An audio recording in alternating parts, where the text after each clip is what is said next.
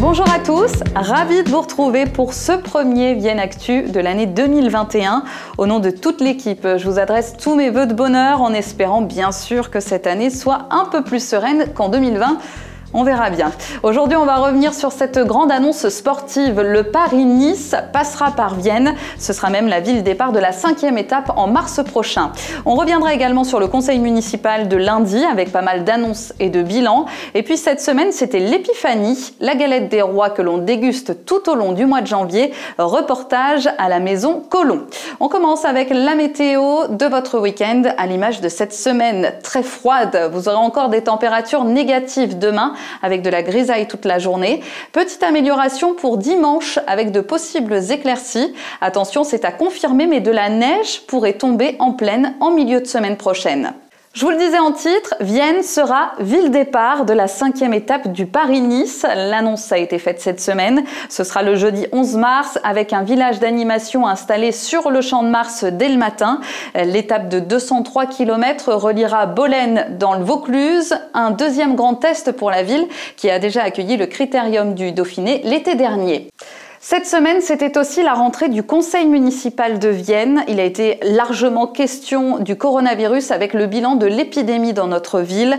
174 personnes sont mortes du Covid à l'hôpital en 2020, dont 15 dans l'EHPAD du centre hospitalier Lucien Hussel. Il y a également eu 49 décès dans les quatre autres EHPAD viennois. Et pendant ce conseil municipal, il a aussi été question de la vaccination. Le maire Thierry Kovacs s'est dit favorable à l'installation d'un centre de vaccination au manège quand le feu vert sera donné par le gouvernement. Thierry Kovacs qui a adressé euh, ses vœux aux Viennois d'une manière innovante cette année. Comme euh, beaucoup de communes, il a choisi la vidéo. Vienne TV a d'ailleurs participé à la réalisation. Vous la retrouvez sur sa page Facebook, la page de Thierry Kovacs. Cette semaine a aussi commencé avec la commémoration du 55e anniversaire de la catastrophe de Fézin. En 1966, l'explosion de la raffinerie avait fait 18 morts, dont 11 pompiers. 4 étaient originaires de Vienne. Une cérémonie était donc organisée au cimetière de Pipé. Et merci à Lina pour ces images impressionnantes de la catastrophe. Donc il y a 55 ans.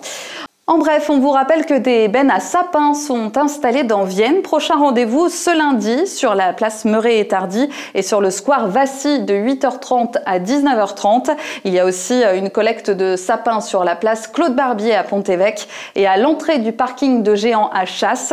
Vous pouvez aussi opter pour la déchetterie et d'ailleurs notez la fermeture exceptionnelle de la déchetterie de Vienne mercredi prochain. Elle rouvrira le jeudi à 13h30.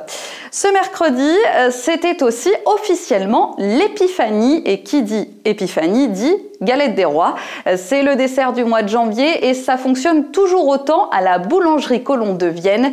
Écoutez le gérant Christian Colomb. Ça va être assez particulier. D'abord, on va faire beaucoup plus de petites tailles qu'habituellement, parce que les gens en règle générale, ont quand même pas mal respecté jusqu'à maintenant. Et même déjà pour les bûches, on a vu qu'on est resté dans des, petites commandes en termes de quantité. Et, voilà, donc la galette 6 personnes va être la reine cette année et la 8-10, à mon avis, euh, on va la bannir. à part pour les gourmands. Ce qui est, euh, voilà, euh, cabinet d'avocat, immobilier, assurance, tout ça, bon, bah, il n'y aura pas de, il y aura évidemment pas cette année de tirage, de tirage des rois. donc voilà, oui, le syndicat de la boulangerie estime à peu près à 20% la perte de chiffre d'affaires pour la boulangerie artisanale. C'est une, grosse période pour nous, euh, surtout qu'on enchaîne avec Noël. Et non, non, ça reste, ça reste très marqué et, ça dure fort pendant deux semaines.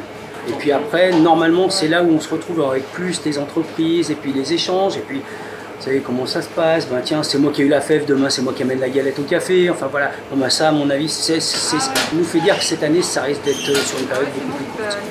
Alors, nous, la frangipane, c'est 75% de vente. Euh, on est vraiment sur euh, la tradition.